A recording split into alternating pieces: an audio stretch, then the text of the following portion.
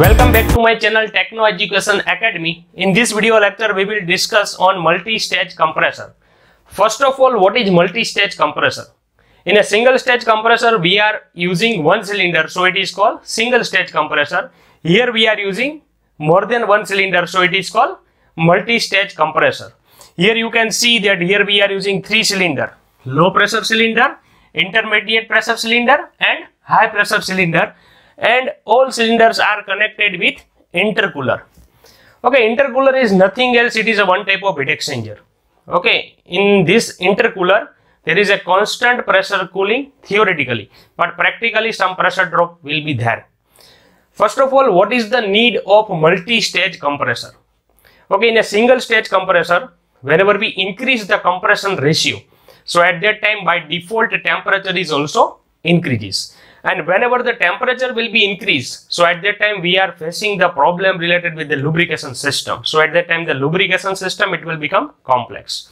The another disadvantage of single stage compression the volumetric efficiency is decreases with increase in compression ratio. Because we know that whenever we increase the compression ratio so at that time temperature of the air it will be increases. And we know that density it is a function of temperature whenever we increase the temperature so at that time density of the air it will be decreases. So at that time the same compressor it will handle more quantity of air. So at that time volumetric efficiency of the compressor it will be decreases. Volumetric efficiency means actual volume of air. Actual volume of air divided by swept volume so volumetric efficiency means it is the ratio of actual volume of air delivered to the compressor or sucked into the cylinder divided by swept volume. It is called volumetric efficiency.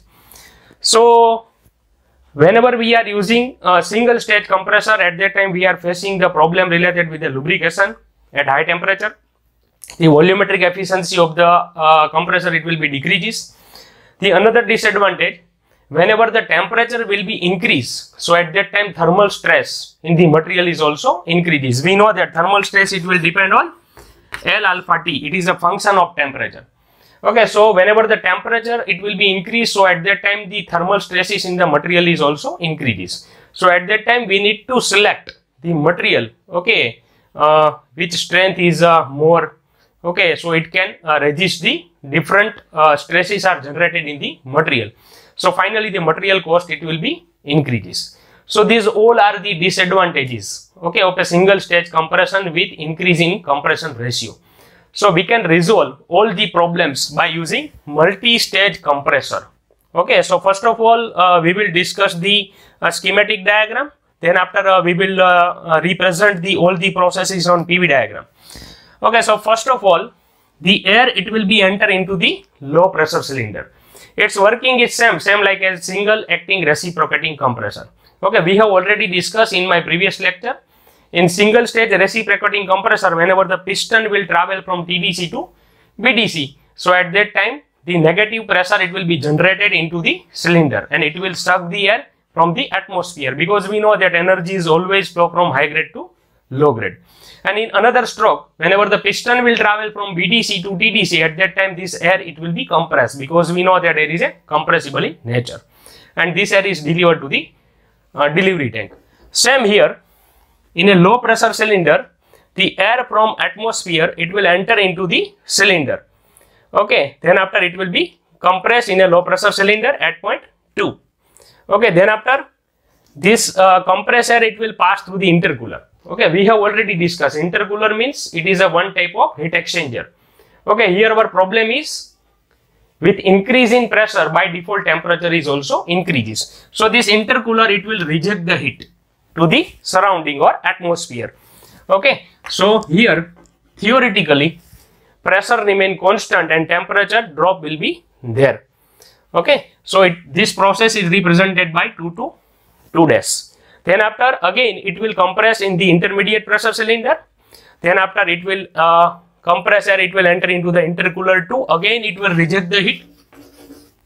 Okay, at constant pressure. Then after again it will be compressed in high pressure cylinder and then after finally it is delivered to the delivery tank. This compressed air it is delivered to the delivery tank. Okay, in my previous lecture, we have already discussed there are lots of applications of the compressed air. Okay, it is used in uh, automobile industry, okay, pneumatic braking system and pneumatic suspension system. It is also used in mining industry. Okay, there are lots of application we have already discussed. If you want to uh, clear your fundamental related with the various terminology of compressor and working principle of reciprocating air compressor and application, then you can watch these videos in my playlist. Okay, now we will discuss all the processes on PV diagram. Okay, why uh, we draw the PV diagram? Because uh, we know that area under the curve in PV diagram, it is the graphical representation of the work done. In my previous lecture, okay, I have already discussed there are three definitions of work done. The first one, force into displacement. The second one, area under the curve in PV diagram okay it is the graphical representation of the work done and third one work done equal to pdv or we can say p delta v. Okay it is the mathematical definition of the work done. Okay so we know that compressor it is a work input device. Okay pump compressor okay these all are the work input device. And ic engine gas turbine steam turbine these all are the output device. So in a pv diagram okay more area in case of a compressor means the more amount of work required to run this compressor and less area it will represent the small amount of work is required or we can say less amount of work is required to run the compressor so here uh, we will represent all the processes on pv diagram first one 1 to 2 process okay it will occur in low pressure cylinder so this is low pressure cylinder it is a PV diagram. On y-axis we are considering pressure and on x-axis we are considering volume. So 1 to 2 process. Okay, it is the adiabatic compression and it will follow PV raised to gamma equal to constant. It is a adiabatic compression. Okay. Then 2 to 2 dash.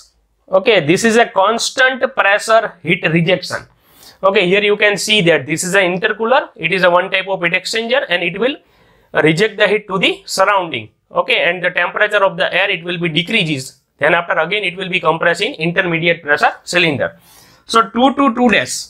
Okay it is a constant pressure heat rejection. Okay here the temperature drop will be there and the pressure remain constant theoretically but practically some amount of pressure it will be decreases. Then 2 to 3 process. Okay it will occur in intermediate pressure cylinder. Okay then after again 3 to 3 dash it is a constant pressure. Here you can see that this is a constant pressure line. Okay so 3 to 3 dash it is the constant pressure cooling in intercooler 2 okay then again it will be compressed in high pressure cylinder and then after uh, it is delivered to the delivery tank. Okay and it will be stored in the delivery tank from where we can use it in multiple application. Okay, so this is the working principle of multi-stage compressor and uh, it is the representation of uh, all processes on PV diagram. So here you can see that, okay, whenever we are not using intercooler, okay, one two four double dash, okay, it is the process. Whenever we are not using the intercooler at that time, here you can see that the more amount of work or we can say more work input is required to run the compressor. But whenever we are using intercooler at that time, this is the saving in work. Okay. This is in saving in work. Say this is the advantages of the multi-stage compressor. So first advantage, volumetric efficiency of the compressor, it will be increases. Second advantage, uh, the problem related with the lubrication, we can resolve it by multi-stage compressor.